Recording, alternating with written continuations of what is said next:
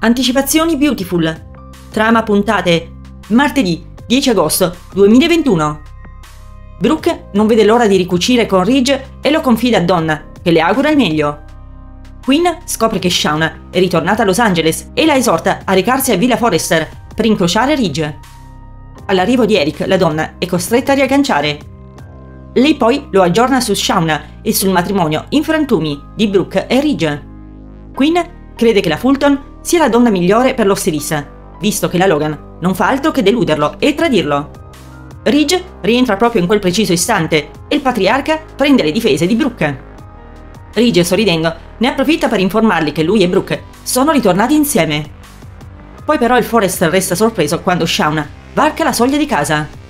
Spiega che per lei sta diventando difficile stare lontana da Flo e da suo marito.